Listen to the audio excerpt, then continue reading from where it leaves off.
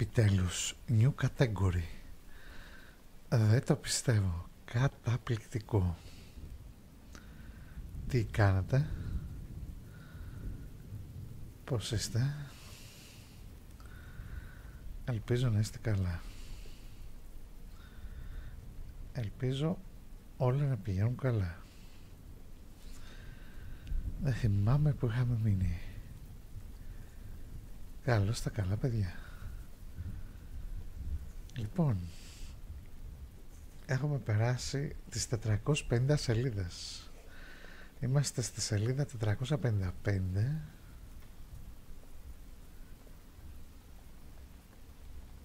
και το βιβλίο ας πούμε ότι έχει 655 άρα έχουμε άλλες 200 σελίδες. Μόνο. Καλησπέρα σας, γεια σας. Με πυρετό και οι δύο ή μόνο ένας παραστικά τι να κάνουμε.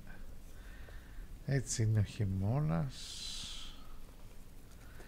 Τι κάνεις Φανούλα. Η Φανή είναι καλύτερα και η Φανή έτσι ήταν για να δούμε.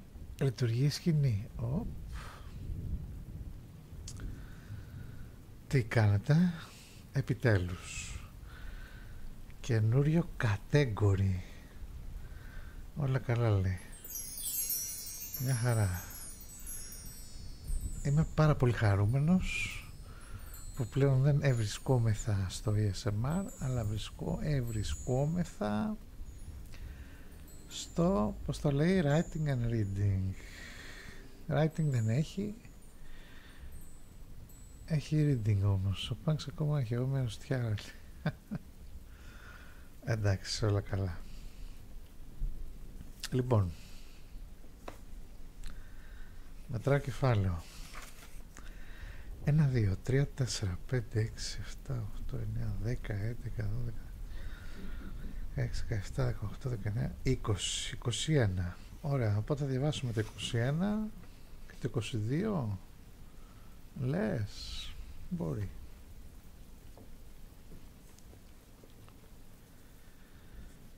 Λοιπόν, κεφάλαιο 21. Το απρόσιτο δωμάτιο. Μου φαίνεται έπος. Μου φαίνεται ότι από εδώ και πέρα ξεκινάει το έπος. Πάμε.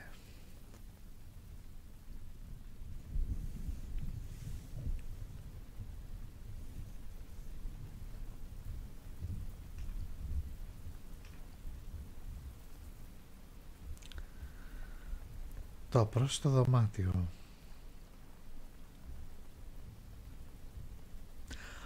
Όλη την επόμενη εβδομάδα ο Χάρη έστρεβε το μυαλό του πώς θα έβρισκε τρόπο να πείσει το Σλάγκορ να του δώσει την αληθινή ανάμνηση. Αλλά δεν του ερχόταν καμιά ωραία έμπνευση. Με αποτέλεσμα να κάνει αυτό που συνήθιζε όλο και περισσότερο όταν βρισκόταν σε απόγνωση. Να μελετά το βιβλίο των φίλτρων με την ελπίδα ότι ο πρίγκιπας θα είχε σημειώσει κάτι χρήσιμο στο περιθώριο όπως είχε συμβεί τόσες φορές ως τότε. «Δεν θα βρεις τίποτα εκεί», δήλωσε αποφασιστικά η Ερμιόνη αργά το βράδυ της Κυριακής. «Μην αρχίζεις πάλι Ερμιόνη», ξεφύσηξε ο Χάρη. «Αν δεν ήταν ο πρίγκιπας δεν θα ζούσε τώρα ο Ρον». «Θα ζούσε αν πρόσεχες τον Σνέιπ στο πρώτο έτος», το υπενθύμησε αυστηρά η Ερμιόνη. Ο Χάρη την αγνόησε. Μόλις είχε ανακαλύψει ένα ξόρκι Σεκτουμ Σέμπρα Σεκτουμ Σέμπρα Οκ Σημειωμένο σε ένα περιθώριο πάνω από τρεις λέξεις που του κίνησαν την περιέργεια για τους εχθρούς ανυπομονούσε να το δοκιμάσει αλλά προτίμησε να μην το επιχειρήσει μπροστά στην Ερμιόνη Περιορίστηκε λοιπόν να τσακίσει με τρόπο τη σελίδα. Οχ, οχ, οχ. Θα γίνει χαμός. Ετοιμάσου.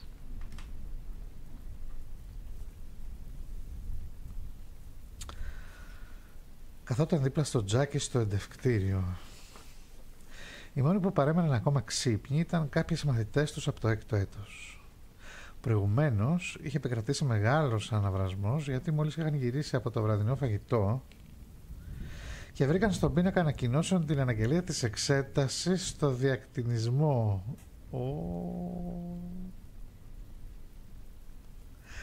Όσοι είχαν κλείσει τα 17 μέχρι και την ημερομηνία της πρώτης εξέτασης, δηλαδή μέχρι την 21η Απριλίου, είχαν τη δυνατότητα να κάνουν πρόσθετα μαθήματα που θα γινόταν υπό αυστηρή επίβλεψη στο Hogsmeade. OK. Okay. Ο Ρον πανικοβλήθηκε μόλις διάβασε την ανακοίνωση. Δεν είχε καταφέρει να διακτινιστεί ακόμη και φοβόταν ότι δεν θα ήταν έτοιμος για τις εξετάσεις. Η Ερμιόνη, που είχε πετύχει ως τώρα δύο διακτηνισμούς, είχε μεγαλύτερη αυτοπεποίθηση, αλλά ο Χάρη, που θα έκλεινε τα 17 σε τέσσερις μήνες, δεν μπορούσε να συμμετάσχει στις εξετάσεις, ήταν είτε ήταν έτοιμος, είτε όχι. Τουλάχιστον εσύ ξέρεις να διακτηνίζεσαι. Αντέδρασε εκνευρισμένος ο Ρόν. Δεν θα έχεις πρόβλημα τον Ιούλιο. Μόνο μία φορά τα κατάφερα, του θύμισε ο Χάρι. Στο προηγούμενο μάθημα είχε κατορθώσει επιτέλους να εξαφανιστεί και να επανεμφανιστεί μέσα στο στεφάνι του. Α, εντάξει, είναι νουμπάς, OK. Okay.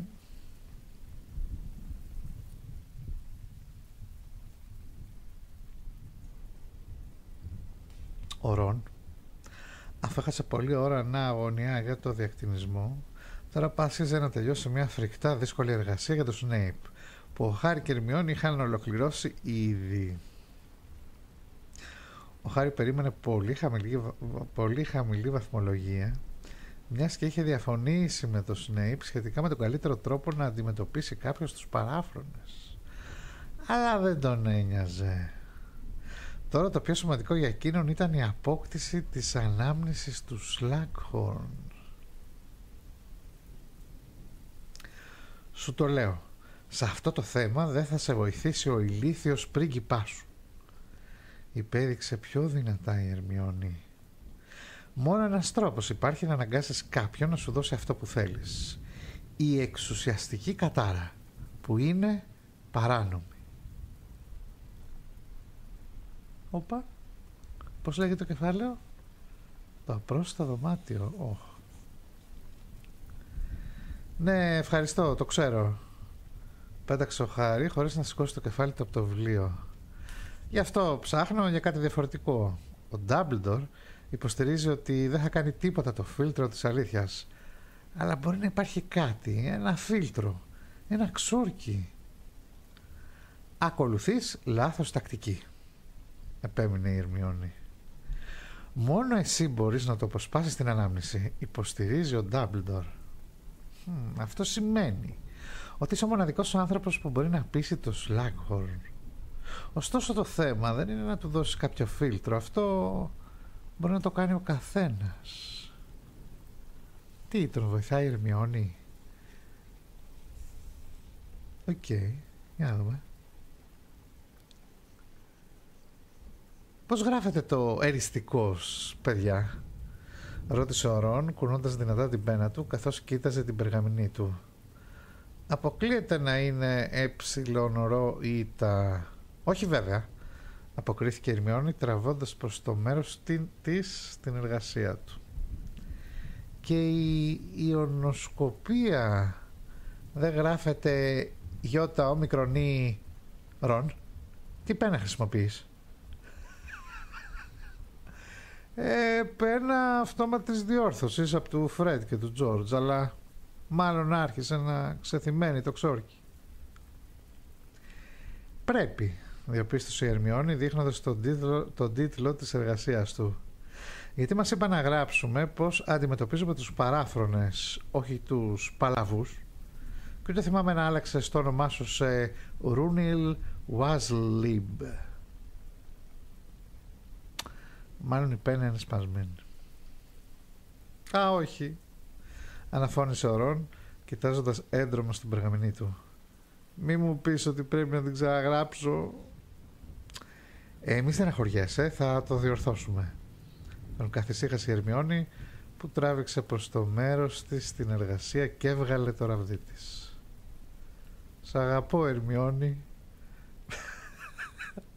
Αυτό ήταν τέλειο. Έτσι θα το έλεγε ο Ρον. Είμαι σίγουρος.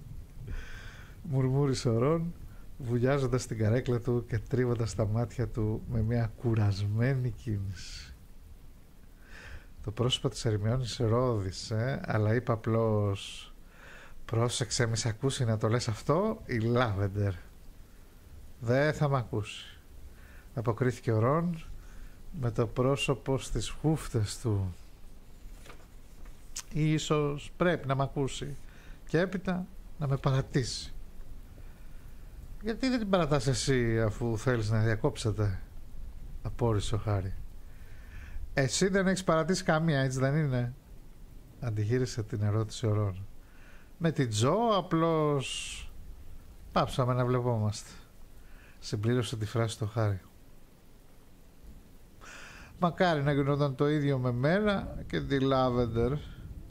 Ευχήθηκε κατσοφιασμένο ο Ρόν και κάρφωσε το βλέμμα του στην Ερμιόνη που χτυπούσε αμήλυτη με το ραβδί της τις ανορθόγραφες λέξεις και εκείνες διορθώνονταν από μόνες τους.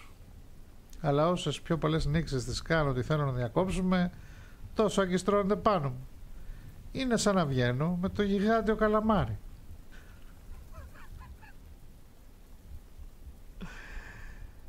Ορίστε, είπε η Ερμιόνη 20 λεπτά αργότερα και έδωσε στο Ρον την εργασία του. Χίλια ευχαριστώ, μουρμούρισε ο Ρον.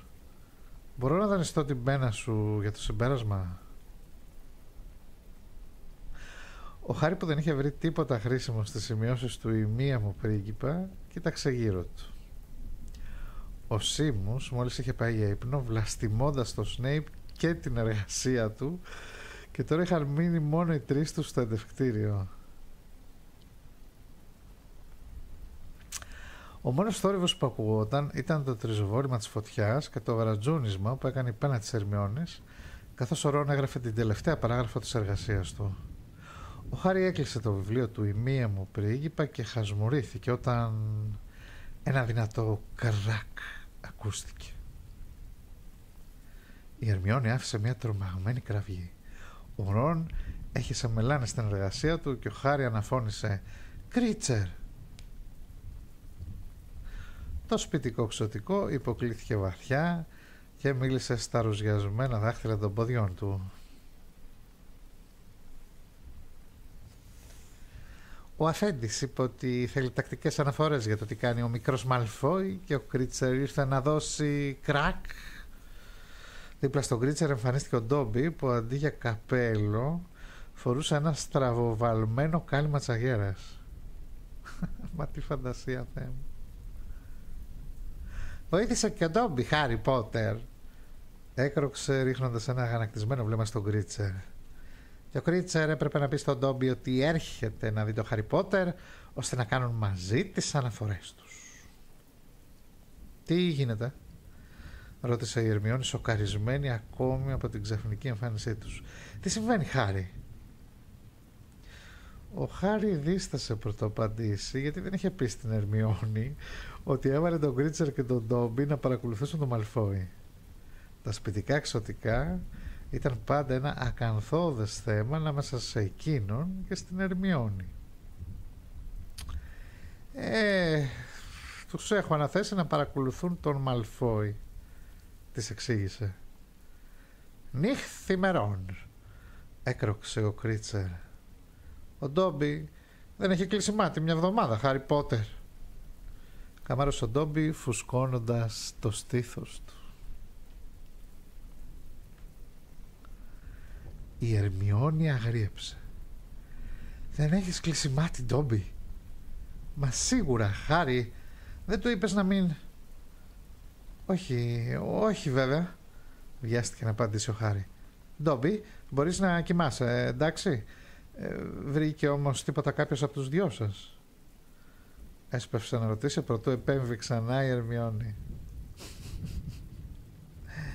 Ο αφέντης Μαλφόη κινείται με την, με την αρχοντιά που ταιριάζει στο ανώθευτο αίμα του. Έκραξε αμέσως ο Κρίτσερ. Τα χαρακτηριστικά του θυμίζουν την κατατομή της κυράς μου και οι τρόποι του είναι... Ο Ντράκο Μαλφόη είναι ένα κακό παιδί, πετάχτηκε θυμωμένος ο Ντόμπι. ένα κακό παιδί που, που αναρρίγησε από τη φούντα στο κάλυμα της τσαγέρας ως τις μύτες των καλτσών του και ύστερα έτρεξε στο τζάκι σαν να σκόπευε να πέσει στη φωτιά. Ο Χάρη που περίμενε κάτι τέτοιο τον άρπαξε από τη μέση και τον κράτησε σφιχτά. Ο Ντόμπι πάλεψε για λίγο και ύστερα ησύχασε. Σε ευχαριστώ πολύ, Χάρι Πότερ. Κοντανάσανε. Ο Ντόμπι δυσκολεύεται ακόμη να κακολογήσει τους παλιούς αφέντες του. Ο Χάρη τον άφησε. Ο Ντόμπι έστιαξε το κάλυμα, το κάλυμα της τσαγέρας και γύρισε επιθετικά στον Κρίτσερ. Αλλά Κρίτσερ πρέπει να ξέρει ότι ο Ντράκο Μαλφόη δεν είναι καλός αφέντης για ένα σπιτικό ξωτικό. Ναι. Δεν χρειάζεται να μας πεις ότι είσαι ερωτευμένος με τον Μαλφόη. Μάλιστα ο Χάρη τον Κρίτσερ. Ας το παραλείψουμε για να ακούσουμε τι ακριβώς κάνει. Ο Κρίτσερ υποκλήθηκε ξανά με ύφος οργισμένο και ύστερα είπε Ο αφέντης Μαλφόη τρώει στη μεγάλη τραπεζαρία. Κοιμάται σε ένα κοιτώνα στα μπουντρούμια παρακολουθεί τα μαθήματά του σε διάφορες. Λέγε σύντομπι του έδωσε το λόγο χάρη διακόπτοντας τον Κρίτσερ έχει πάει κάπου που δεν θα έπρεπε Χάρι Πότερ, κύριε Έκροξε ο Ντόμπι με τα μεγάλα γουρλωτά μάτια του να λάμπουν στη φωτιά. Ο Ντόμπι δεν είδε να παραβιάζει κάποιους κανονισμούς, ο μικρός Μαλφόη, αλλά φροντίζει να καλύπτει τις κινήσεις του. Επισκέπτεται τακτικά τον 7ο όροφο με διάφορους μαθητές, που τους βάζει να κρατάνε τσίλιες όταν αυτός μπαίνει στο δωμάτιο των ευχών. Βιάστηκε να συμπληρώσει ο Χάρη χτυπώντας το μέτωπό του με το παρασκευή φίλτρων για προχωρημένους. Η Ερμιόνη και ο Ρόν τον κοίταξαν σαστισμένοι. Εκεί πηγαίνει. Εκεί κάνει ό,τι κάνει. Στοιχηματίζω ότι γι' αυτό εξαφανίζεται από το χάρτη. Τώρα που το σκέφτομαι, δεν έχω δει ποτέ στο χάρτη το δωμάτιο των ευχών. Ίσως αυτοί που έφτιαξαν το χάρτη να μην ήξεραν καν την ύπαρξη του δωματίου. Πήρε το λόγο ο Ρον. Νομίζω ότι είναι μέρος της μαγείας του, συμπέρανε η Ερμιόνη. Αν θέλεις να μην γίνεται αντιληπτό, δεν γίνεται. Ντόμπι, μπόρεσες να μπεις μέσα να δεις τι κάνει ο Μαλφόη, ρώτησε ανυπόμονα ο Χάρη. Όχι, Χάρι Πότερ. Είναι αδύνατον. Αποκρίθηκε ο Ντόμπι. Δεν είναι αδύνατον. Αντέτεινε ο Χάρη. Ο Μαλφόη μπήκε στο αρχηγείο μας πέρσι. Επομένως, θα μπορέσω να μπω και εγώ να δω τι κάνει. δεν το νομίζω, Χάρη. Ακούστηκε αργός ήρθε η φωνή της Ερμιόνης ο Μαλφόη ήξερε ήδη πως ακριβώς χρησιμοποιούσαμε το δωμάτιο γιατί είχε φλιαρίσει εκείνη η ηλίθια Μαριέτα. Ήθελε να γίνει το δωμάτιο αρχηγείο των νικηφόρων και έγινε. Αλλά εσύ δεν ξέρεις τι γίνεται το δωμάτιο όταν μπαίνει μέσα ο Μαλφόη. Επομένως δεν ξέρεις σε τι να ζητήσεις να μεταμορφωθεί. θα βρω λύση. Αντέδρασε απτόητος ο Χάρη. Μπράβο, Ντόμπι. Συγχαρητήρια. Αξίζει και στον Γκρίτσερ ένα μπράβο. Πρόσθεσε καλοσυνάτα η Ερμιόνη. Αλλά αντί για ευχαριστώ, ο Κρίτσερ κάρφωσε τα τεράστια κοκκινισμένα μάτια του στο ταβάνι κρόζοντας. Η λασπόαιματη μιλάει στον Κρίτσερ. Ο Κρίτσερ θα κάνει ότι δεν την ακούει. Δίνε του, φώναξε νευριασμένος ο Χάρη και ο Κρίτσαρ έκανε μια τελευταία βαθιά υπόκληση και εξαφανίστηκε. Πήγαινε να κοιμηθείς και εσύ, Ντόμπι. Ευχαριστώ, Χάρι Πότερ, κύριε. Έκροξε χαρούμενος ο Ντόμπι και εξαφανίστηκε και αυτός. Επική σκηνή, ώρα και νερό.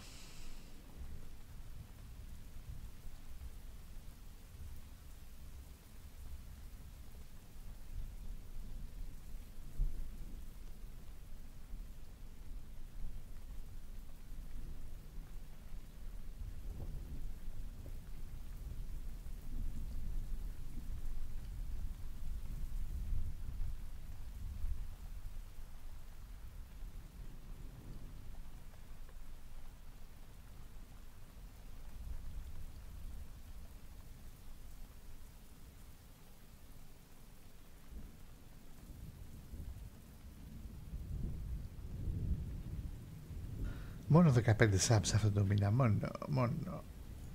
Πάμε. Μάλιστα. Ωραία σκηνή, μου άρεσε. Προχωράμε. Μισό λεπτό να το πάρω αυτό από εδώ, να μην το βλέπω καθόλου. Ου, ου, ου, ου, Ωραία, εδώ θα πάμε. Ε...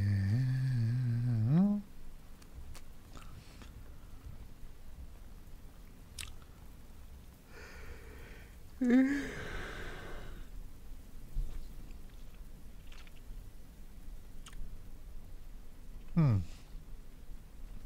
Το βρήκα. Ωραία, ε! Αναφώνησε ενθουσιασμένος ο Χάρη που στράφηκε στο Ρον και στην Ερμιόνη μόλις έφυγαν τα δύο ξωτικά. Ξέρουμε πού πηγαίνει ο Μαλφόη. Τώρα θα το στριμώξουμε. Ναι, περίφημα. Γρήλησε ο Ρον ενώ προσπαθούσε να σκουπίσει το μελάνι από τη μουλιασμένη περγαμηνή που ήταν μέχρι, μέχρι πρόσφατα σχεδόν ολοκληρωμένη εργασία του. Η Ερμιόνη την τράβηξε προς το μέρος της και ρούφηξε το μελάνι με τη μύτη του ραβδιού της. Ναι, αλλά γιατί πηγαίνει με διάφορους μαθητές άραγε, απόρρισε, απόρρισε η Ερμιόνη. Πώς είναι στο κόλπο, θα περίμενε κανείς ότι δεν θα εμπιστευόταν σε πολλούς αυτό που κάνει. ναι, είναι παράξενο. Συμφώνησε ο Χάρης μίγοντας τα φρύδια. Τον άκουσα να λέει στον Γκράμπε ότι δεν είναι δική του δουλειά, τι κάνει. Τι λέει λοιπόν σε όλους αυτούς, όλους αυτούς. Η φωνή του Χάρη έσβησε. Είχε τα μάτια καρφωμένα στη φωτιά. Τι βλάκας που είμαι, ψιθύρισε. Είναι ολοφάνερο. Υπήρχε ένα τεράστιο τσουκάλι στο μπουντρούμι, γεμάτο... Θα μπορούσα εύκολα να κλέψει λίγο την ώρα του μαθήματος. Τι να κλέψει, αναρωτήθηκε ο Ρόν. Πολυχημικό φίλτρο. Έκλεψε λίγο από το πολυχημικό φίλτρο που μας έδειξε ο Σλάκχορν στο πρώτο μάθημα. Δεν είναι πολλοί οι μαθητές που κρατάνε τσίλια στο Μαλφόι. Είναι μόνο ο Κράμπε και ο Γκόιλ, ο συνήθως. Ναι, έτσι ταιριάζουν όλα. Μονολόγησε ο Χάρη που πετάχθηκε όρθιος και βάλθηκε να βηματίζει μπροστά στο τζάκι. Είναι τόσο ηλίθιοι, ώστε κάνουν ό,τι τους λέει χωρίς να τους πει τι σκαρώνει εκείνος αλλά δεν θέλει να τους δουν στημένους έξω από το δωμάτιο των ευχών. Πήρε λοιπόν το πολυχημικό φίλτρο για να μεταμορφώνονται σε άλλους. Όπως εκείνα τα δύο κορίτσια που είδα μαζί του όταν δεν ήρθε στο μάτς του Quidditch. Χα, ήταν ο Κράμπε και ο Γκόιλ. Θέλεις να πεις, μουρμούρισε πνιχτά η Ερμιόνη, ότι εκείνο το κοριτσάκι που επιδιόρθωσα τη ζυγαριά του... Μα φυσικά, φώναξε ο Χάρη γυρίζοντας προς το μέρος της. «Φυσικά!» Εκείνη την ώρα ο Μαλφόη θα πρέπει να ήταν μέσα στο δωμάτιο και αυτή, τι λέω τώρα, αυτός έριξε τη ζυγαριά για να ειδοποιήσει το Μαλφόη να μην βγει έξω επειδή υπήρχε κόσμος στο διάδρομο. Και μια άλλη φορά ένα κορίτσι έριξε το γόνο ενός βατράχου.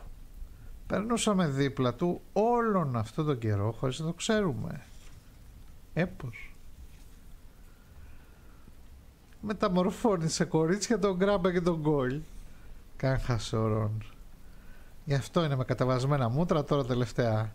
Απορώ πώς δεν του λένε να βάλει εκεί που ξέρει... Δεν θα τολμούσαν αν τους είχε δείξει το σκοτεινό του σήμα. Τον έκοψε ο Χάρη. Δεν ξέρουμε αν έχει το σκοτεινό σήμα διαφώνησε σκεφτική η Ερμιόνη που τύλιξε τη στεγνή εργασία του Ρον προτού πάθει καμία άλλη ζημιά και του την έδωσε. Θα δούμε, απάντησε με σιγουριά ο Χάρη. Ναι, έκανε η Ερμιόνη που σηκώθηκε και ανακλαδίστηκε. Προτούσα παρασύρει όμως ο ενθουσιασμός σου χάρη, σου επαναλαμβάνω ότι δεν θα μπορέσεις να μπεις στο δωμάτιο των ευχών εάν δεν μάθεις πρώτα τι ακριβώς συμβαίνει εκεί μέσα. Και μην ξεχνάς, συμπλήρωσε κρεμώντας τη σάκα της στον νόμο και κοιτάζοντας τον σοβαρά, ότι αυτό που θα πρέπει να σε απασχολεί είναι πως θα πάρεις την ανάμνηση του Σλάκχορν. Καληνύχτα. Ο Χάρη την κοίταξε που έφευγε ελαφρώς δυσαρεστημένος. Εδώ θέλει κόμμα φιλαράκι. Υπάρχει πρόβλημα στα κόμματα στις εκδόσεις. Γιατί, άμα δεν ξέρετε που μπαίνουν τα κόμματα, να πάρετε μένα. Να μου δίνετε το βασικό μισθό, να σας κάνω ε, εργασία κόμμα, διόρθωση κόμματος. Ο Χάρη την κοίταξε που έφευγε κόμμα ελαφρώς δυσαρεστημένος. Τόσο δύσκολο ήτανε. Καλώς τον Νικολάκη. Ευχαριστούμε πολύ. Για ένα κόμμα χάλασα την ανάγνωσή μου. Ορίστε.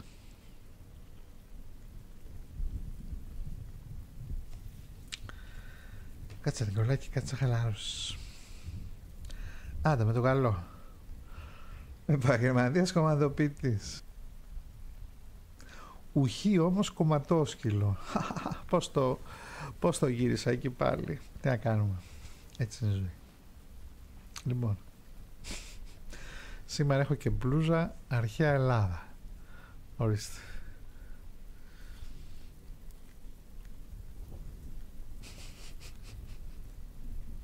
Γι' αυτό. Πού είχα μείνει; Στο κόμμα. Σωστά. Ο Χάρη την κοίταξε που έφευγε, ελαφρώς δυσαρεστημένος. Μόλις έκλεισε πίσω της η πόρτα των γειτόνων των κοριτσιών, στράφηκε στο Ρον. Εσύ τι λες; Εύχομαι να μπορούσα να διακτηνιστώ σε άσπιτικό ξωτικό. Απάντησε ο Ρον. Ο Ρον στον κόσμο του. Ε, με βλέμμα καρφωμένος στο σημείο που είχε εξαφανιστεί ο Ντόμπι. Δεν ξέρω τι θα κάνω στις εξετάσεις.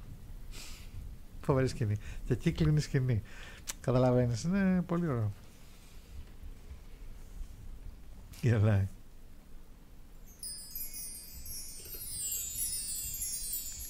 Και εκεί κλείνει η σκηνή. Και η επόμενη σκηνή, δηλαδή φέρτε στο μυαλό σου έτσι, σαν ταινία σου. Ο Χάρη δεν κοιμήθηκε καλά εκείνη τη νύχτα. Έμεινε για ώρες άγρυπνος προσπαθώντας να φανταστεί πώς χρησιμοποιούσε ο Μαλφόη το δωμάτιο των ευχών και τι θα έβλεπε ο Χάρης αν έμπαινε εκεί την άλλη μέρα γιατί ό,τι και αν έλεγε η Ερμιόνη ο Χάρη ήταν σίγουρος ότι εφόσον κατόρθωσε ο Μαλφόη να δει το αρχηγείο του συνδέσμου νικηφόρων θα κατάφερνε να δει και αυτό στο χώρο του Μαλφόη. Τι θα ήταν; Τόπος συνάντησης, κρυψώνα, αποθήκη, εργαστήριο; Το μυαλό του Χάρη δούλευε πυρετοδός και τα όνειρά του όταν επιτέλους κοιμήθηκε διακόπτονταν και ανταριάζονταν από εικόνες του Μαλφόη που έπαιρνε τη μορφή του Σλάκχορν, που έπαιρνε τη μορφή του Σνέιπ. Την επόμενη μέρα, την ώρα του πρωινού, ο Χάρη βρισκόταν σε μεγάλη περδιέγερση. Είχε μία ώρα κενό πριν από την άμυνα εναντίον των σκοτεινών τεχνών και είχε αποφασίσει να την περάσει προσπαθώντας να μπει στο δωμάτιο των ευχών. Η Ερμιόνη αγνούσε επιδεικτικά τα ψιθυριστά του σχέδια για το πώς θα μπορέσει να εισβάλλει στο δωμάτιο, γεγονός που τον εκνεύριζε, μιας και πίστευε ότι θα μπορούσε να του προσφέρει πολύτιμη βοήθεια αν ήθελε. Τσαμπουκάς, τι παίζει;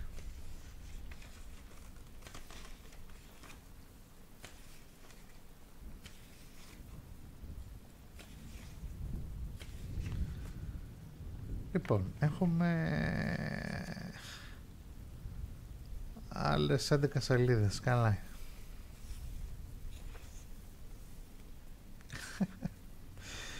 Για να δούμε.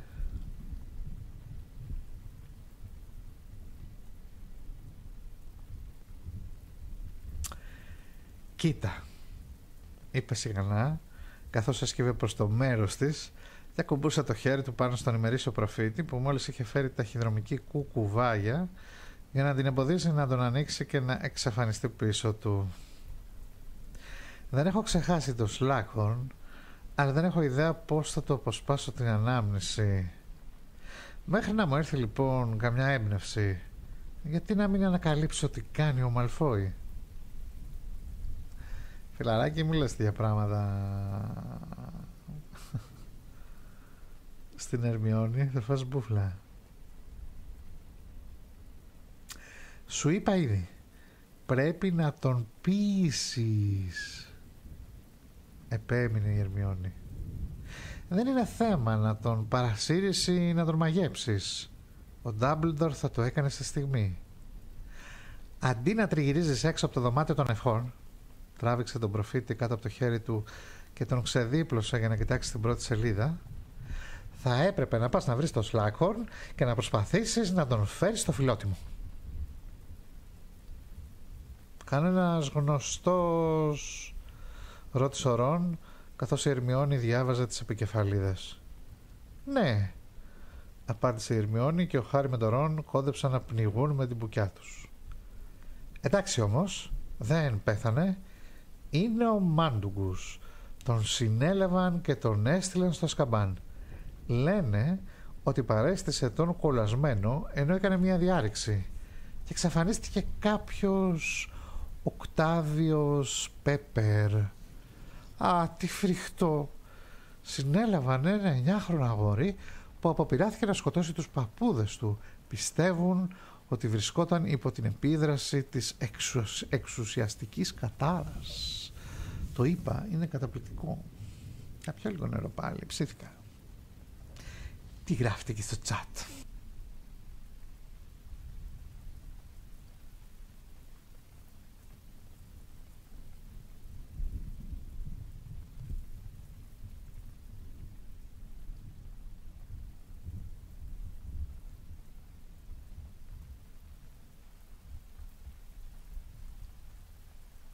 Μάλιστα, μάλιστα, μάλιστα. Πολύ ωραία όλα αυτά, αλλά εγώ τώρα πρέπει να ξεκουραστώ. Και για να ξεκουραστώ θα κάνω ένα τριγκεράκι. Είδες οι εφημερίδες την γράφουνε; Καταπληκτικό. Για να δούμε λίγο.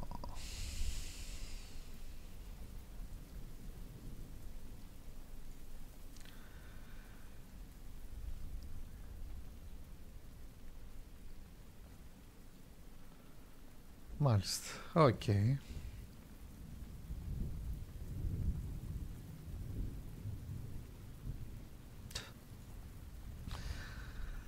Αχ, τι να πω. Άσε με ρε βρικόλα, κάνε κάνω αυτό που θέλω. Έκανε redeem, καλώς.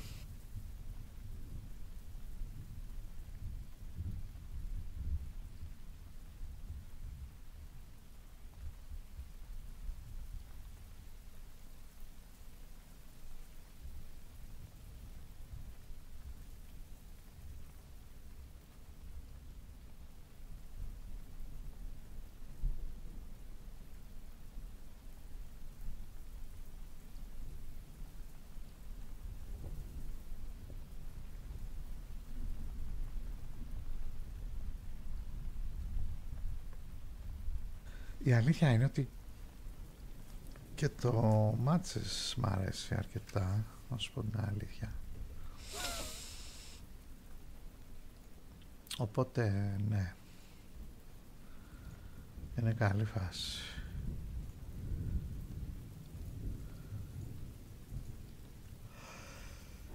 Με χαλαρώνει πάρα πολύ το στικάκι που βάζω να βάζετε κι εσείς και να χαλαρώνετε. Are you ready? Εδώ. Yes.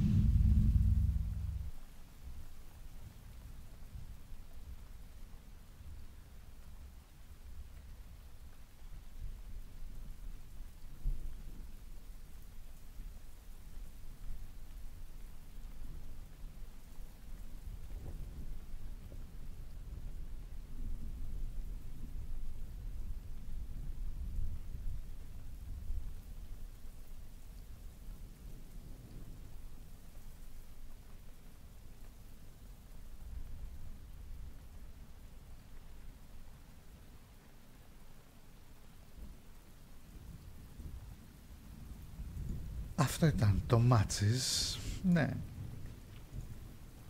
Γιατί όχι; Μου άρεσε. Καλό ήταν. Ευχαριστούμε πολύ. Ελπίζω να άρεσε και σε εσάς.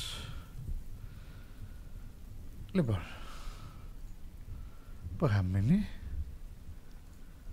Προχωράμε. Λοιπόν, μας βλέπω για ένα κεφαλάκι σήμερα. Δεν πειράζει, έτσι είναι η ζωή. Τι να κάνουμε, εκεί θα να διαβάσω δύο.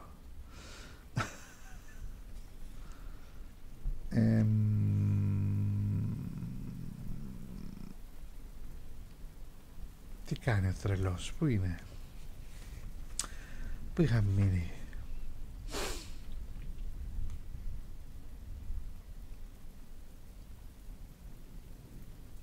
Α, ναι. Στη δολοφονία υπό την επίδραση της, εξουσ... της εξουσιαστικής χατάρας εκεί είχα μείνει. Πώς θα είναι άραγε να κάνεις SMR σε τέτοιο δωμάτιο; Δεν ξέρω.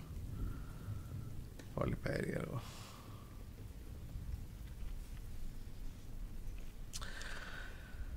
Τελείωσαν αμήλυτοι το πρωινό τους.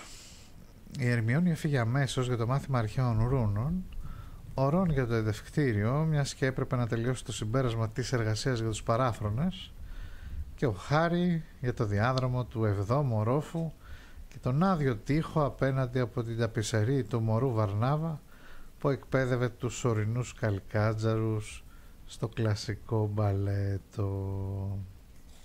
Κατάλαβες, το δωμάτιο των ευχών στο παιχνίδι, στο Hogwarts Legacy, είναι το κεντρικό hub του παιχνιδιού ουσιαστικά. Αυτό είναι. Πολύ έξυπνο που το κάνουν έτσι. Εμένα μου άρεσε. Εμένα μου άρεσε που το κάνουν έτσι. Λοιπόν, για δεν μ' άρεσε εδώ όμως το μικρόφωνο. Τεστ, ένα, δύο. Καλά μου εδώ, καλά είναι. Καλά είναι. Μου λέει Φάνη, μην παίζεις με το μικρόφωνο. Ο Χάρη φόρεσε τον αόρατο μανδύα του μόλις βρέθηκε σε ένα έρημο πέρασμα, αλλά άδικα μπήκε στον κόπο. Όταν έφτασε στον προορισμό του, διαπίστωσε ότι δεν υπήρχε κανείς.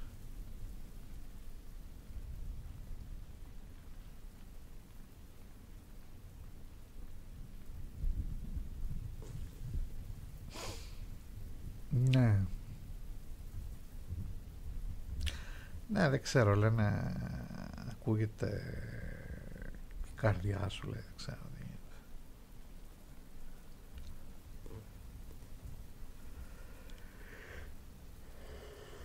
Ο Χάρη δεν ήταν σίγουρος αν είχε περισσότερες πιθανότητες να μπει στο δωμάτιο όταν δεν ήταν μέσα ο Μαλφόη, αλλά αν μη τι άλλο, δεν θα έκανε την πρώτη του προσπάθεια μπροστά στον Γκράμπ ή τον Γκόιλ που παρίσταναν το 11χρονο κορίτσι.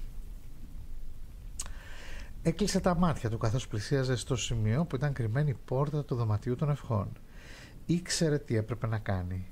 Είχε εξασκηθεί τον προηγούμενο χρόνο. Συγκεντρώθηκε όσο πιο πολύ μπορούσε και σκέφτηκε. Θέλω να δω τι κάνει εκεί μέσα ο Μαλφόη. Θέλω να δω τι κάνει εκεί μέσα ο Μαλφόη. Θέλω να δω τι κάνει εκεί μέσα ο Μαλφόη. Πέρασε τρεις φορές μπροστά από την πόρτα και ύστερα με την καρδιά του να χτυπάει δυνατά από την έξαψη άνοιξε τα μάτια του αλλά το μόνο που είδε ήταν ο άδειος τείχος πλησίασε και τον έσπρωξε ο τείχος παρέμεινε σύμπαγης και μετακίνητος εντάξει είπε δυνατά ο Χάρη εντάξει δεν έκανα τη σωστή σκέψη το μελέτησε λιγάκι και ύστερα έκλεισε ξανά τα μάτια του και αυτοσυγκεντρώθηκε. Θέλω να δω το μέρος όπου έρχεται κρυφά ο Μαλφόη. Θέλω να δω το μέρος όπου έρχεται κρυφά ο Μαλφόη. Αφού πέρασε τρεις φορές μπροστά από το σημείο, άνοιξε τα μάτια του όλο προσδοκία. Δεν υπήρχε πόρτα. «Ω, έλα επιτέλους», φώναξε εκνευρισμένος στον τοίχο. Ήταν σαφής η εντολή. Καλά. Σκέφτηκε κάμποσες στιγμές πρωτού άρχισε πάλι το πήγαινε Θέλω να γίνεις το μέρος που γίνεσαι για τον Δράκο Μαλφόη. Δεν άνοιξε αμέσως τα μάτια του όταν σταμάτησε, αφού γκραζόταν σαν να περίμενε να ακούσει το θόρυβο που θα έκανε η εμφάνιση της πόρτας. Το μόνο που έφτασε στα αυτιά του όμως ήταν τα μακρινά τετιβίσματα των πουλιών έξω από το κάστρο. Άνοιξε τα μάτια του. Δεν υπήρχε πόρτα. Ο Χάρη βλαστήμησε. Κάποιος τσίριξε. Στράφηκε και είναι μια συντροφιά πρωτοετών να τραβιούνται βιαστικά πίσω από τη γωνία, έχοντας προφανώς την εντύπωση ότι συναντήθηκαν με ένα αθυρόστομο φάντασμα. Μα τι ωραία που γράφει. Τι ωραία που γράφει. Άμα σου πολύ. Ο Χάρη δοκίμασε κάθε παραλλαγή της φράσης. Θέλω να δω τι κάνει μες στο δωμάτιο ο Ντράκο Μαλφόη που μπόρεσε να σκεφτεί. Α, μάλιστα. Τώρα το διάβασα σωστά. Και ύστερα από μία ώρα αναγκάστηκε να παραδεχθεί ότι ίσως η Ερμιόν είχε δίκιο. Το δωμάτιο αρνιόταν πεισματικά να του ανοίξει την πόρτα. Θυμωμένος και απογοητευμένος ξεκίνησε για το μάθημα της άμυνας εναντίον των σκοτεινών τεχνών βγάζοντας τον αόρατο μανδύα και κρύβοντάς τον στο σακίδιό του καθώς πήγαινε προς την αίθουσα. Πάλι άργησες, Πότερ, παρατήρησε παγερά ο Σνέιπ μόλις ο Χάρη μπήκε στη φωτισμένη με κεριά αίθουσα. Μείον δέκα πόντι από τον Γκρίφιντορ. Τον αγαπώ. Ο Χάρη αγριοκοίταξε τον Σνέιπ καθώς ριχνόταν στο κάθισμα δίπλα από τον Ρον. Τα μεσαπαιδιά ήταν ακόμα όρθια, έβγαζαν τα βιβλία τους από τις άκες τους και τακτοποιούσαν τα πράγματά τους. Σίγουρα δεν ήρθε τόσο καθυστερημένος. Θεούλης, επειδή άργησε 10 δευτερόλεπτα, του έριξε 10 πόντους. Δηλαδή, δευτερόλεπτο και πόντος. Θεός. Πρωτού αρχίσουμε, θέλω τις εργασίες σας για τους παράφρονες, δήλωσε ο Σνέιπ και με μια αδιάφορη κίνηση του ραδιού του 25 τυλιγμένες περγαμηνές πέταξαν στον αέρα και προσγειώθηκαν στο γραφείο του σχηματίζοντας μια τακτική στίβα. Και ελπίζω για το καλό σας να είναι καλύτερες από τις βλακίες που μου γράψατε για το πώς αντιστεκόμαστε στην εξουσιαστική κατάρα. Τώρα ανοίξτε τα βιβλία σας στη σελίδα... Τι είναι, κυρία Μίλιγκαν... Κύριε, πήρε το λόγο Σίμω. Αναρωτιόμουν πώς καταλαβαίνουμε τη διαφορά μεταξύ ενός κολλασμένου και ενός φαντάσμα, ενός φαντάσματος. Γιατί έγραψε κάτι ο προφήτης για ένα κολλασμένο. Δεν έγραφε τίποτα. Απάντησε βαριεστημένα ο Σνέιπ. Μα κύριε, άκουσα που το συζητούσαν. Αν είχες όντως διαβάσει το άρθρο, κύριε Μίλιγκαν, θα ήξερες ότι ο δίθεν κολλασμένος δεν ήταν παρά ένας κοινός λοποδίτης ονόματι Μάντουγκους Φλέτσερ. Νόμιζα ότι ο Σνέιπ και ο Μάντουγκους βρίσκονται στην ίδια πλευρά. Μουρμούρισε ο Χάρης στο Ρόν και στην Ερμιόνη. Δεν θα έπρεπε να στεναχωρηθεί που πιάσανε τον Μάντουγκους. Αλλά βλέπω ότι ο Πότερ έχει να πει πολλά για αυτό το θέμα. Πρόσθεσε ο Σνέιπ δείχνοντας ξαφνικά στο βάθος της αίθουσας με τα μαύρα μάτια του καρφωμένα στο χάρι. Θα σε ρωτήσουμε τον Μπότερ πώς καταλαβαίνουμε τη διαφορά μεταξύ κολλασμένου και φαντάσματος.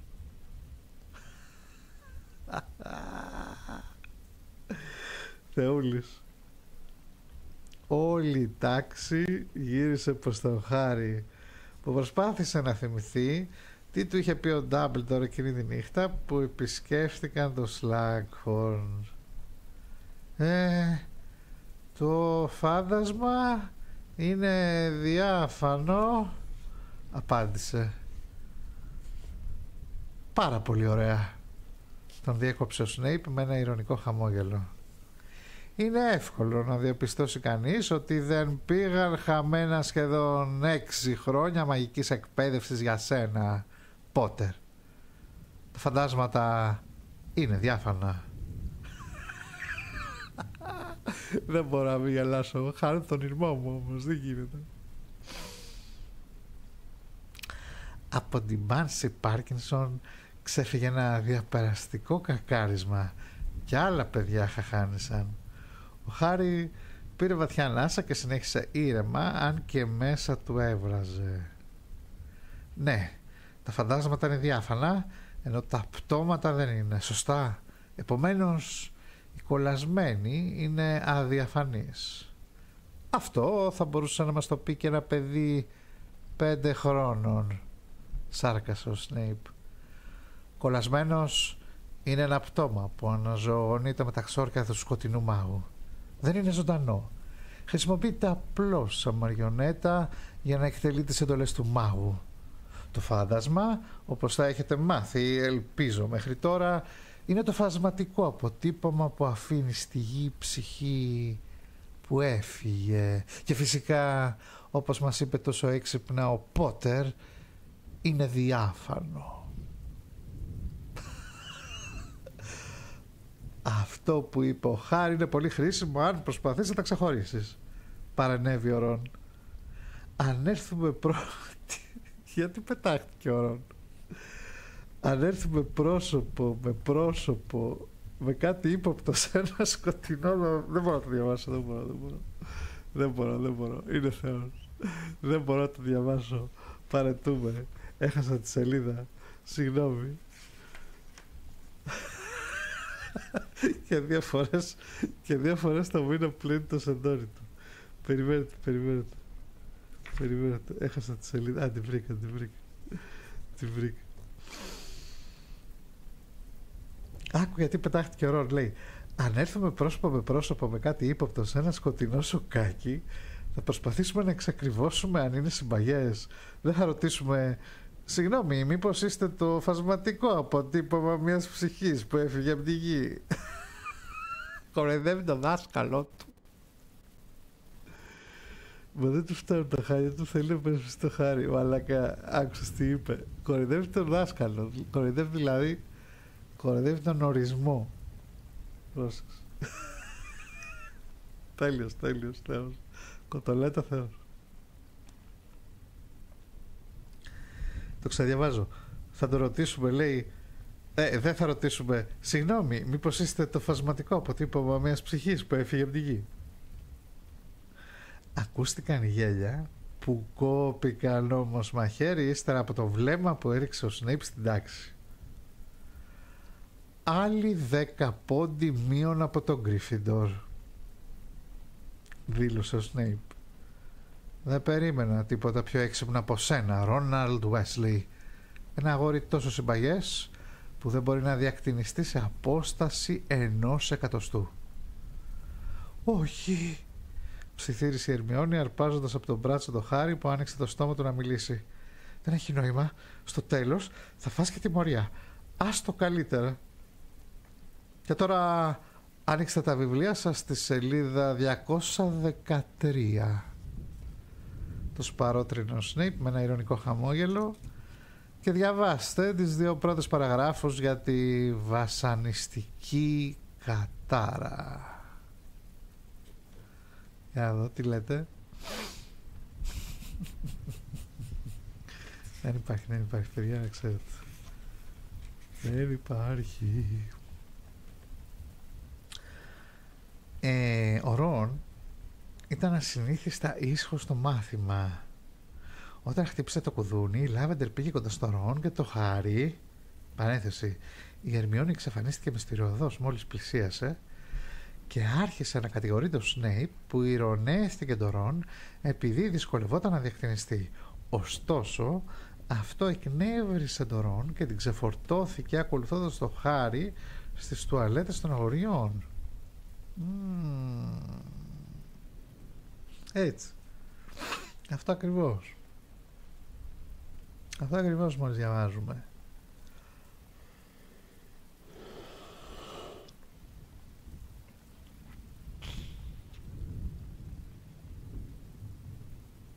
Ο Σνέιπ έχει δίκιο. Έτσι δεν είναι. Ρώτησε ο Ρον αφού κοιτάχτηκε για κανένα δυο λεπτά σε ένα ραγισμένο καθρέφτη. Αναρωτιέμαι αν αξίζει τον κόπο να δώσω εξετάσεις αφού είναι αδύνατο να διακτηνιστώ. Μπορείς να παρακολουθήσεις τα πρόσθετα μαθήματα στο Hawksmith και να δεις τι θα γίνει. Έκανε μια λογική πρόταση ο Χάρη. Θα είναι πολύ πιο ενδιαφέροντα από το ηλίθιο Στεφάνι. Και ύστερα, αν δεν, αν δεν είσαι ακόμη όσο καλός θα ήθελες, μπορείς να αναβάλεις την εξέταση και να δώσεις μαζί μου το καλοκαίρι. Μυρτιά, τι δουλειά έχεις στις τουαλέτες των αγοριών; Το φάντασμα ενός κοριτσιού σηκώθηκε από την τουαλέτα που καθόταν και τώρα αιωρούνταν στον αέρα κοιτώντας τους πίσω από τα χοντρά άσπρα στρογγυλά γυαλιά της. «Α...» έκανε κατσοφιασμένη. «Εσείς είστε» «Ποιον περίμενες» ρώτησε ο Ρον κοιτώντας της στον καθρέφτη. «Κάνε έναν» απάντησε Μυρτιά τρίβοντας ακνευρισμένη ένα σπυράκι στο πηγούνι της. «Είπα ότι θα έρθει να με δει, αλλά κι εσείς λέγατε ότι θα άρχεστε να με βλέπετε». Παραπονέθηκε ρίχνοντας το χάρι ένα επιτιμητικό βλέμμα. Και έχω να σας δω κάτι μήνες. Έμαθα να μην περιμένω πολλά από τα αγόρια.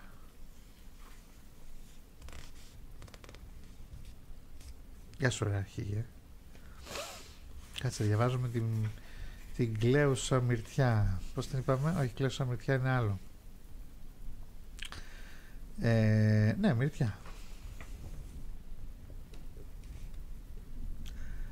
Νόμιζα πως ζούσες στις τουαλέτες των κοριτσιών. Δικαιολογήθηκε ο Χάρη που τα τελευταία χρόνια φρόντιζε να μην περνάει ούτε απ' έξω. Ναι, είπε και ανασήκωσε μου τρωμένη τους ώμους της. Αλλά αυτό δεν σημαίνει ότι δεν μπορώ να επισκεφθώ και άλλα μέρη. Κάποτε ήρθα και σε βρήκα στις τουαλέτες των αγοριών. Α, ναι, θυμάσαι. Δεν το ξεχνάω, μουρμούρισε ο Χάρη. Μα νόμιζα ότι με συμπαθούσε. Έκλαψούρισε. Ίσως αν φύγετε εσείς να ξανάρθει. Έχουμε τόσα κοινά. Είμαι σίγουρη ότι το καταλαβαίνει. Συμπλήρωσε και κοίταξε με λαχτάρα προς την πόρτα. Όταν λες ότι έχετε πολλά κοινά, υπορών, που έδειχνε να το διασκεδάζει, εννοείς ότι ζει και αυτός μες στα συμφώνια; Όχι βέβαια αντέδρασε αγανακτισμένη μυρτιά και η φωνή της αντίχησε στο παλιό πλακόστρωτο μπάνιο. Εννοώ ότι είναι ευαίσθητος. Ότι τον κακομεταχειρίζονται και αυτόν οι άλλοι. Και ότι αισθάνεται μοναξιά και δεν έχει κανένα να μιλήσει, αλλά δεν φοβάται να δείξει τα αισθήματά του και να κλάψει. Έρχεται εδώ κάποια αγόρια και κλαίει. Ρώτησε με περιέργεια ο Χάρη. Είναι μικρός. Να μην σε νοιάζει. Αποκρίθηκε η Μυρτιά, καρφώνοντας τα μικρά δακρυσμένα μάτια της Θωρών, που τώρα χαμογελούσε πλατιά. Του υποσχέθηκα να μην το πω σε κανέναν. Να πάρω το μυστικό του στον. Πάντως όχι στον τάφο. Πέταξα με ένα ρουθούσμα Στους υπονόμους, ίσως. Η Μυρτιά έβγαλε μια οργισμένη κραυγή και βούτυξε στην τουαλέτα, κάνοντας το νερό να ξεχυλήσει και να χυθεί στο πάτωμα. Ο Ρον μετά το δούλεμα στη Μυρτιά είχε ξαναβρει το κέφι του. Έχεις δίκιο, είπε ξανακρεμώντας τη σχολική σάκα του στον νόμο. Θα κάνω εξάσκηση στο Hogsmeade πρωτού δώσω εξετάσεις. Και έτσι κλείνει και αυτή η σκηνή. Μα τι ωραία που γράφει. Και αυτό θα κάνω μόλις τώρα. Καμπάνα βαράει. Ποιος βαράει καμπάνα; Δεν κατάλαβα γιατί διάβαζα.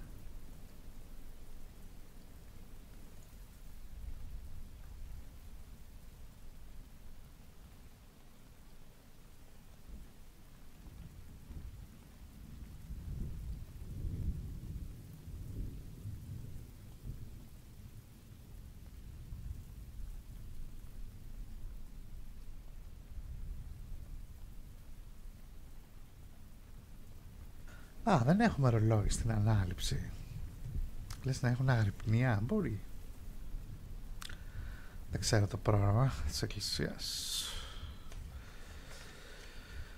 Λα λα λα λα λα, για να δούμε, ναι ναι ναι ναι ναι, δυστυχώς όσο κι αν ήθελα να διαβάσω δεύτερο κεφάλαιο. Τρα λα λα λα λα.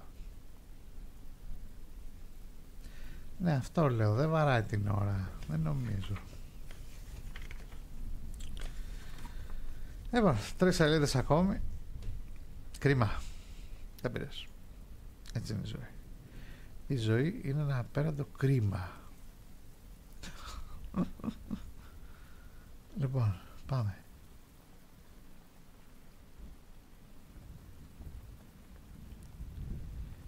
Yeah. Ωραία σκηνή με την ε, Μυρτιά όμως. Και έτσι, το επόμενο Σαββατοκύριακο ο Ρόν ακολούθησε την Ερμιόνη και τους άλλους μαθητές του έκτου έτους που θα έκλειναν έγκαιρα τα 17 για να δώσουν εξετάσεις σε 15 μέρες. Ο Χάρη τους ζήλεψε όταν τους είδε να ετοιμάζονται για το χωριό.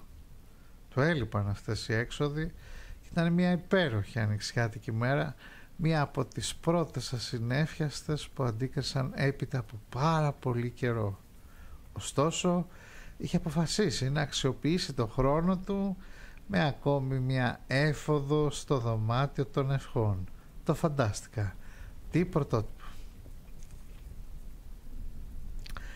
Καλά θα κάνεις.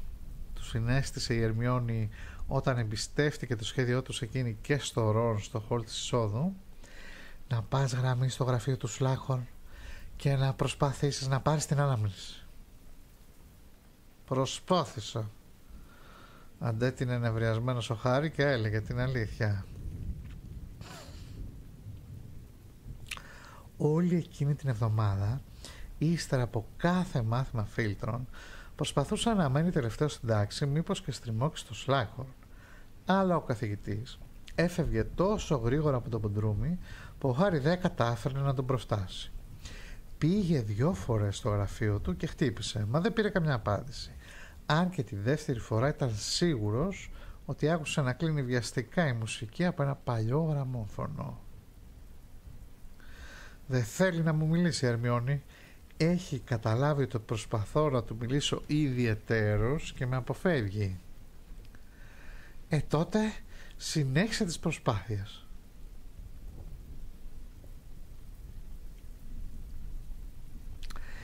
Οι μικροί ουρά των μαθητών που περίμεναν να περάσουν από τον Fields και τον καθαριμένο έλεγχο με το μυστικό αισθητήρα προχώρησαν μερικά βήματα και ο Χάρι δεν έδωσε καμία απάντηση στη φίλη του για να μην ακούσει ο επιστάτης.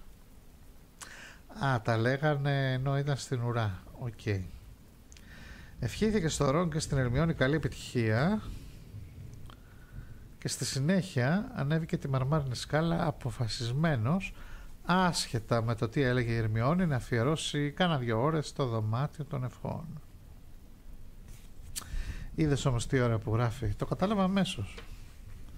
Δηλαδή, μπορείς να το καταλάβεις ρε φίλε, είναι πολύ...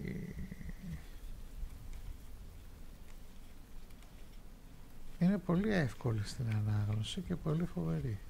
Κάτσε να δούμε λίγο το επόμενο κεφάλαιο πόσες σελίδες είναι. Ε;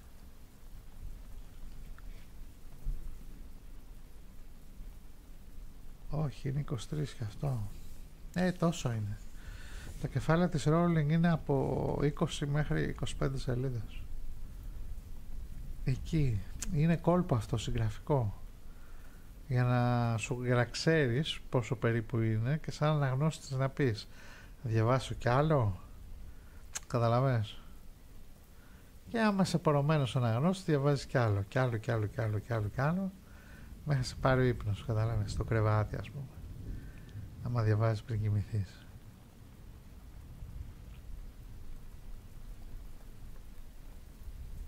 Που δεν το έχω κάνει ποτέ στη ζωή μου. Και στο τελευταίο κεφάλαιο και πάντα χαμός. Ε, στο τελευταίο όχι, από ό,τι θυμάμαι. Αλλά ίσως τα τελευταία δύο βιβλία να το έχει κάνει έτσι. Μπορεί. Το τελευταίο το κρατάει για σβήσιμο που λέμε. Πάντα. Γιατί είναι και που τελειώνει η χρονιά, ξέρω εγώ, είμαστε πάνε για διακοπές και όλα αυτά. Ναι, όχι το τελευταίο, ναι. Έτσι. Ήδη, ήδη, κοίταξε να δεις, ο κάθε συγγραφέας έχει το στυλ του. Έτσι είναι. Όπως και ο κάθε μουσικός. Δηλαδή, άμα ακούσεις κάτι λες αυτό είναι Παπαθανασίου ξέρω αυτό είναι καταλαβαίνεις είναι πολύ απλό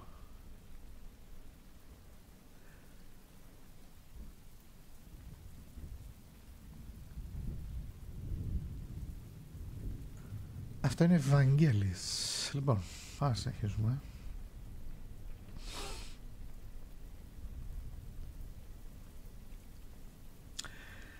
Μόλις έπαψε να είναι ορατός από το χολ, έβγαλε από τη σάκα του το μαγικό χάρτη και τον αόρατο μανδύα. Φόρεσε το μανδύα, χτύπησε το χάρτη με το ραβδί του και μουρμούρισε. Ορκίζομαι ότι δεν έχω καθόλου καλούς σκοπούς και κοίταξε προσεκτικά το χάρτη. Όπως κάθε Κυριακή πρωί, σχεδόν όλοι οι μαθητές βρίσκονταν στα εντευκτήριά τους. Η Γκρίφεντορ σε ένα πύργο, η Ravenclaw σε έναν άλλο, η Σλίδεριν στα μπουντρούμια και η Χάφλ Πάφλ στο υπόγειο κοντά στις κουζίνας. Εδώ και εκεί έβλεπε κάποιον να έχει ξεκόψει στη βιβλιοθήκη σε ένα διάδρομο. Υπήρχαν επίσης μερικά άτομα στο πάρκο και πιο πέρα μόνος τους στο διάδρομο του εβδόμου ορόφου ο Γκρέγκορι Γκόιλ. Το δωμάτιο των ευχών δεν φαινόταν πουθενά, αλλά ο Χάρη δεν ανησυχούσε γι' αυτό. Αν στεκόταν σκοπός απ' έξω Γκόιλ, το δωμάτιο ήταν ανοιχτό, είτε το έδειχνε ο χάρτης, είτε όχι. Έτσι, ανέβηκε τρέχοντας τις σκάλες, έκοψε ταχύτητα όταν πλησίασε στη γωνία που οδηγούσε στο διάδρομο και ύστερα πλησίασε νυχοπατώντας το ίδιο κοριτσάκι που κρατούσε σφιχτά τη βαριά μπρούτζινη ζυγαριά την οποία η Ερμιόν είχε την καλοσύνη να επισκευάσει πριν από 15 μέρες. Ο Χάρη στάθηκε ακριβώς πίσω της, έσκυψε και ψιθύρισε. «Γεια σου. Είσαι πολύ όμορφη. Το ξέρεις». Ο Γκόιλ έβγαλε φοβισμένος μία δεπεραστική κραυγή. Πέταξε τη ζυγαριά στον αέρα και το έβαλε στα πόδια για να εξαφανιστεί πρωτού καλά-καλά σβήσει ο αντίλαλος του κρότου που έκανε ζυγαριά καθώς έπεσε στο πάτωμα. Ο Χάρη γύρισε γελώντας και περιεργάστηκε τον άδειο τοίχο πίσω από τον οποίο ήταν σίγουρος ότι στεκόταν τώρα κοκαλωμένος ο Μαλφόη, γνωρίζοντας ότι απ' έξω βρισκόταν κάποιος ανεπιθύμητος, αλλά μη τολμώντας να κάνει την εμφάνισή του. Αυτό προκάλεσε στο Χάρη, πρόσεξε, το έχω παρατηρήσει ότι γράφει έτσι για τον Χάρη όλο και περισσότερο. Δηλαδή τι, πρόσεξε. Αυτό λέει, προκάλεσε στον Χάρη ένα απολαυστικό αίσθημα δύναμης καθώς προσπαθούσε να θυμηθεί τι συνδυασμούς λέξεων δεν είχε δοκιμάσει ακόμη.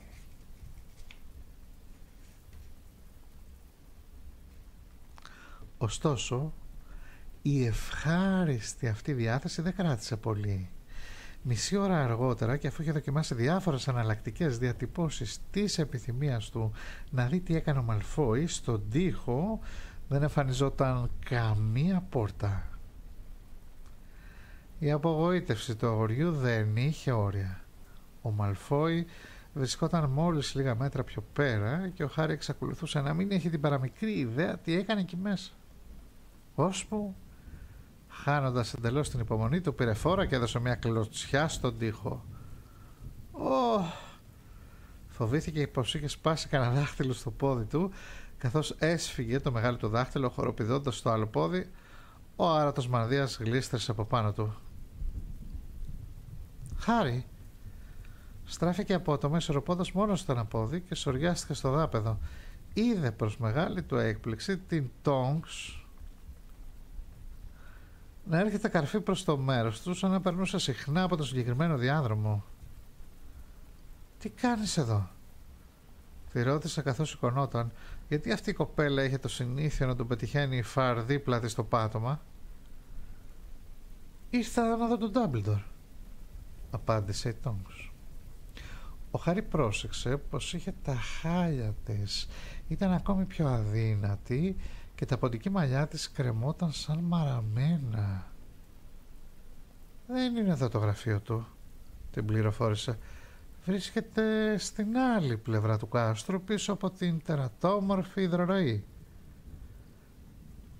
Το ξέρω, μουρμούρισε Τόμς. Δεν είναι εδώ. Έχει φύγει πάλι.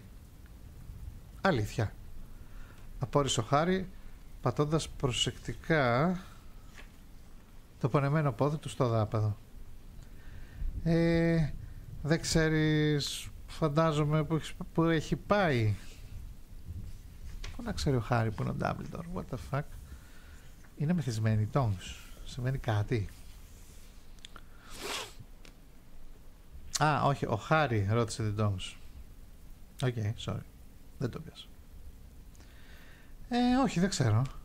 Απάντησε η Τονκς. Τι τον ήθελες; Τίποτα το ιδιαίτερο. Αποκρίθηκε η Τόμς, στρώνοντας αφηρημένα το μανίκι του μανδύα της. Ήθελα απλώς να τον ρωτήσω τι γίνεται. Γιατί άκουσα διάφορες φήμες. Άνθρωποι τραυματίζονται. Ναι, ξέρω. Τα γράφουν οι εφημερίδες. Κατένευσε ο Χάρη. Γι' αυτό το παιδάκι που προσπάθησε να σκοτώσει τους... Πολλές φορές. Ο προφήτης μένει πίσω από τα γεγονότα, σχολίασε η Τόμς, χωρίς να δώσει προσοχή στα λόγια του. Δεν είχες τελευταία κανένα γράμμα από το τάγμα. Τώρα πια δεν μου γράφει κανείς από το τάγμα, απάντησε ο Χάρη. Από τότε που πέθανε ο Σύριος, μα έκοψε απότομα τη φράση του μόλις είδε τα μάτια της να πλημμυρίζουν δάκρυα. «Συγγνώμη», μουρμούρισε αδέξια, «θέλω να πω, μου λείπει και εμένα». «Τι» έκανε αφηρημένα η Τονκς σαν να μην τον είχε ακούσει. Λοιπόν, τα λέμε Χάρι. OK. Okay. Λίγο κουφή αυτή η σκηνή. Αλλά η κοτολέτα μας είπε ότι τίποτα δεν είναι τυχαίο.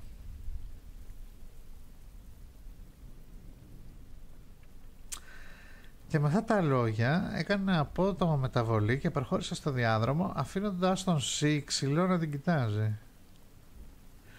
Λίγες στιγμές αργότερα φόρεσε ξανά τον άρωτο μανδύα και συνέχισε άκεφα τις προσπάθειες να μπει στο δωμάτιο των ευχών. Τέλος, μια αίσθηση καινού στο στομάχι του, καθώς και η σκέψη ότι σε λίγο θα γύριζαν ο Ρόν και η Ερμιόνη για το μεσημεριανό φαγητό, τον έκαναν να εγκαταλείψει την προσπάθεια και να αφήσει ελεύθερο το διάδρομο στο Μαλφόη, που με λίγη καλή τύχη θα φοβόταν να βγει για μερικές ώρες ακόμη. Βρήκε το Ρόν και την Ερμιόνη στην τραπεζαρία να έχουν ήδη αρχίσει το φαγητό τους. Τα κατάφερα, δηλαδή περίπου φώναξε ενθουσιασμένος ο Ρον στο χάρι μόλις τον είδε. Υποτίθεται ότι θα διακτηνιζόμουν μπροστά στο τεϊοποτείο της Μαντάμ Πάντιφουτ αλλά ξεστράτησα λιγάκι και βρέθηκα κοντά στην πένα του γραμματικού αλλά τουλάχιστον κινήθηκα. Μπράβο. Τον επιδοκίμασε ο Χάρη. Εσύ πώς θα πήγες Ερμιόνη; Α, άψω από πάντα. Μπήκε στη μέση ο Ρον Προτού προλάβει να απαντήσει η Ερμιόνη. Τέλεια πίστη, προφητεία και πρόσχουρση όπως τα αλλιώς τα λένε. Έπειτα πήγαμε για ένα αναψυκτικό στα τρία σκουπόξυλα και έπρεπε να άκουγες τι έλεγε ο Τάικρος για εκείνη. Θα ξαφνιαστώ αν δεν της κάνεις σύντομα πρόταση. Και εσύ ενδιαφέρθηκε να μάθει η Ερμιόνη αγνοώντας τον Ρον.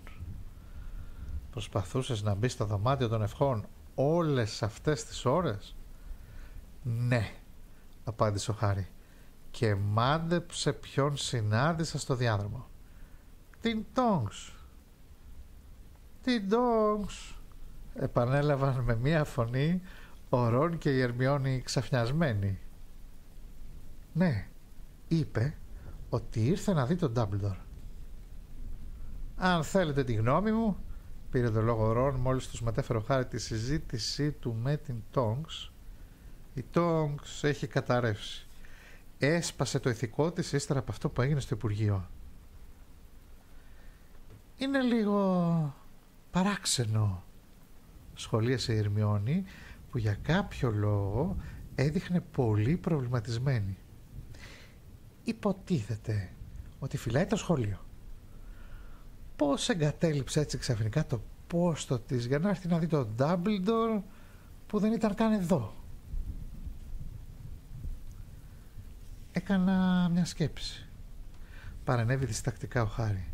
Ένιωθε παράξενα για αυτό που θα έλεγε. Αυτά τα θέματα ήταν ειδικότητα της Ερμιόνης. Λέτε να ήταν, ξέρετε, ερωτευμένη με το Σύριο. Α,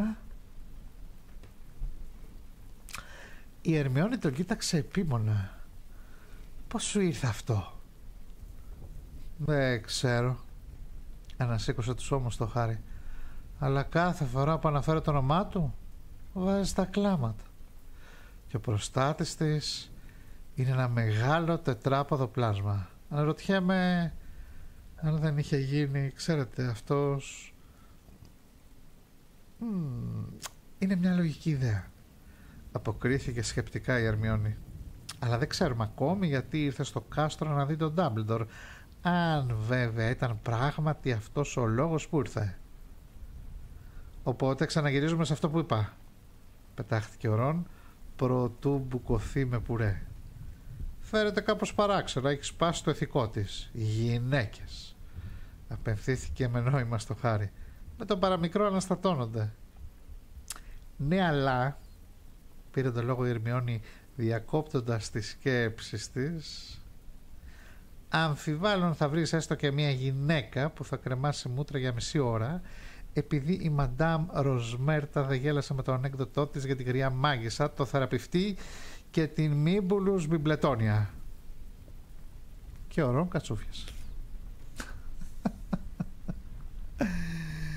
Μα τι ωραία που τελειώνει το κεφαλά της. Δεν μπορώ. Λοιπόν, λυπάμαι πολύ που διαβάσαμε μόνο ένα κεφάλαιο. Θα ήθελα να είχα διαβάσει και ένα δεύτερο. Αύριο δεν ξέρω τι θα παίξουμε. Δεν έχω ιδέα τι γίνεται σε αυτή τη ζωή. Οπότε αφήστε με να ξεκουραστώ τώρα που έχω χρόνος. Κατά πήγε, αλλά δεν έχει σημασία. Γεια σου ρε Δημάλανη. Καλή νύχτα σας. Τα λέμε αύριο με δεν ξέρω τι.